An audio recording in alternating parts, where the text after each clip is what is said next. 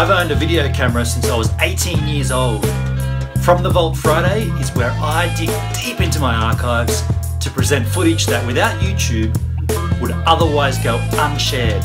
Source material for this footage ranges all the way from Super 8 reel, VHS, 8mm camcorder, Hi-8, digital aids and mini DV camcorder and I've also set myself a rather silly little German rule.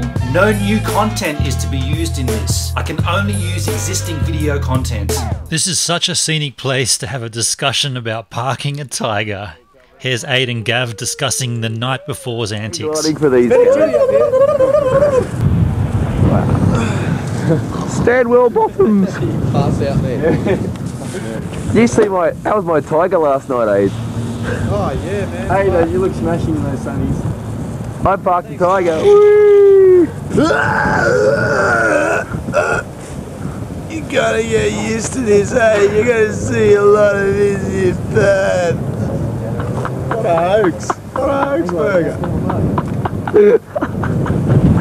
That was funny, but I'm just glad that you just got out of my car in time. Man, that is, that's deadly, man. Two buck Coopers. No. What were they thinking? Like, don't they know how potent that shit is? I think you're the only person in the whole joint buying it. Like, I was sitting there looking at people drinking like normal beer, thinking, what he's doing. I hope you enjoyed that from the Vault Friday. How about that video quality though? Hmm. And if you enjoyed that content, please consider subscribing to my channel here. Check out my regular vlog here and a random regular vlog there. And if you're a photographer, please check out my Lightroom 6 presets here.